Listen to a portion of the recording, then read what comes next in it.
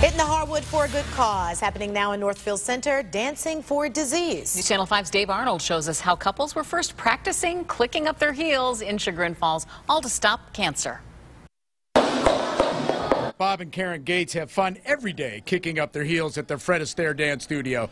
But for a couple dancing for 30 years, prepping for an event tonight has a meaning much more deep. It is Dancing with the Survivors, and obviously it's breast cancer survivors. Uh, it's related to the Pink Fund, and really proud to be a part of it. The Pink Fund dedicates itself to providing cancer patients during treatment financial assistance to cover non medical expenses. The fund says meeting those basic needs decreases patients' stress levels, contributing to strengthening their ongoing fight. This studio has the right touch to help. Here, looking at each other like that. An instructor since 1978, Bob is throwing in his expertise to one of four local student dancers who are dedicated to fighting cancer for the Pink Fund. I've had a few people in my family with uh, cancer. My grandmother had breast cancer and eventually died of that.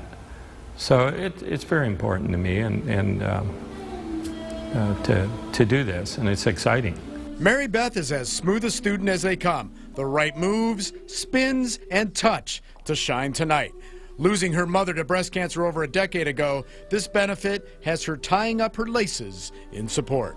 You know, it means a lot to me to be able to, as I said, do something outside of myself. I lost my mom to breast cancer in 2001. Even the smallest donation um, can make a difference. Remember, you don't actually have to dance to donate to this great cause. On your side in Chagrin Falls, I'm Dave Arnold, News Channel 5. And if you think you'd like to dust off your best dance moves tonight in support of breast cancer, Gambitta's Party Center can be found at 160 East Aurora Road in Northfield Center. And for more information, go to newsnet5.com.